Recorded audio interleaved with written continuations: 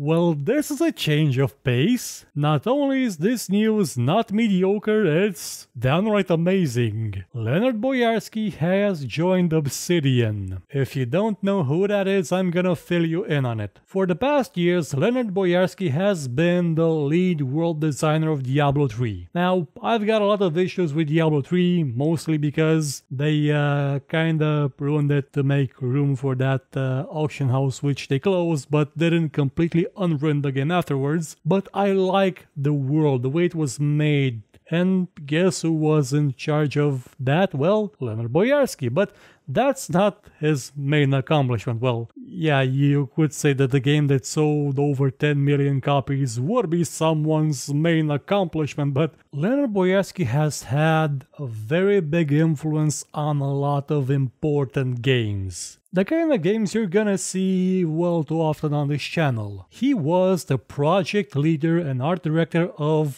Vampire the Masquerade Bloodlines, which you know is one of my favorite games. He did art, dialogue, design for Arcanum of Steamworks and Magick Obscura. Another Troika game which again is one of my favorites. It's a game where you can climb through windows. Do you know how many RPGs, open world games in general, don't let you climb through windows? Most of them. I mean it, most of them. You can only do it in Fallout 4 because of a bug that lets you use items like chairs and couches that are in the house and then you can just use them through the window and teleport yourself in. Otherwise you can't do that. But this game let you use windows, which probably means that every other game is a Mac fanboy, but that's another issue. You'll see Arcanum around here soon, I promise. I accidentally looked it over when it came to that uh, don't be a hero bit. I shouldn't have, and I'm sorry. And I'll do better next time with a show about Arcanum itself. Well, not next time, but sometime this or next year. And before that, Leonard Boyarsky worked at a studio called Interplay, where,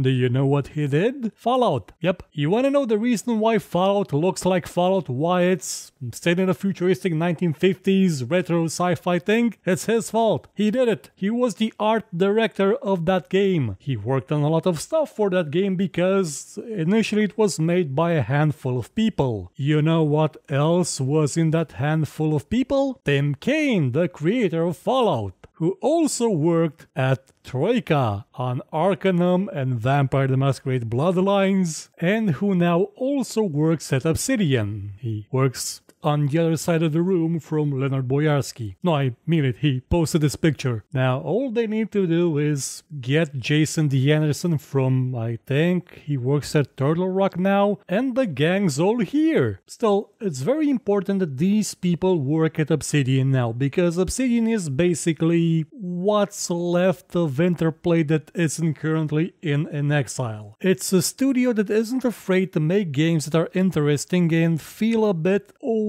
school-ish, like they did with Pillars of Eternity. Games that put a very big accent on world, on characters, on story, on the stuff that well made things like Vampire the Masquerade shine. Well, Bloodlines anyway. There was a game before Bloodlines and um, it, it was okay, but the dialogue made me want to punch myself with a mallet in the face under the gravity of Jupiter every time Christof started talking to Anezka again because they never shut up. They never do. And they talked in that old timey fashion way that was just Ah. But back to this idea. What are Tim Cain and Leonard Boyarsky gonna work on now that they're both at Obsidian? Well, Obsidian has a new game, Tyranny, which is in development now. It's been revealed. It's been in the works for a while, it seems, and it's published by Paradox. Now, I ask you, what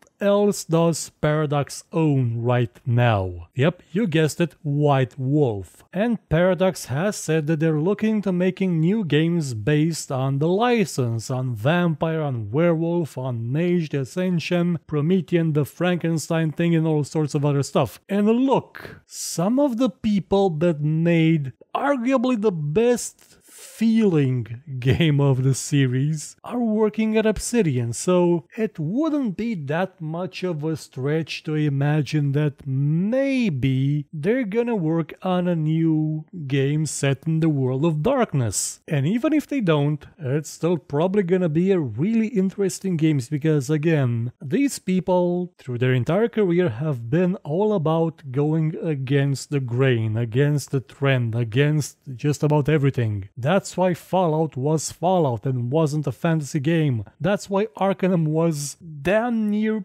impossible to find a replacement for. In terms of setting, in terms of concepts, in terms of world, technology, even the way it all interacted. Though if you do know some game that could replace it, tell me in the comments. I'd like to check it out, especially if it has somewhat better combat. Well, that's it for this edition. One of those few rare gems where something not only turned out to not be mediocre, but was actually quite amazingly awesome. It's like Christmas came early, or Easter because it's gonna be in a few weeks anyway. The calendar's a bit different this side of the Berlin Wall is what I'm saying. If you enjoyed this show, hit the like button, subscribe and share it with your friends. Or, if you thought it was horrible, then share it with your enemies and make them suffer. We shall be your weapon of vengeance. But if you liked what you saw, you could, I don't know, maybe donate because basically YouTube is horrible at revenue by using the link in the description or just buy my book. It's a fantasy book about, well, a lot of stuff. I guarantee it won't suck, and if it does suck, you can find me here and complain about it.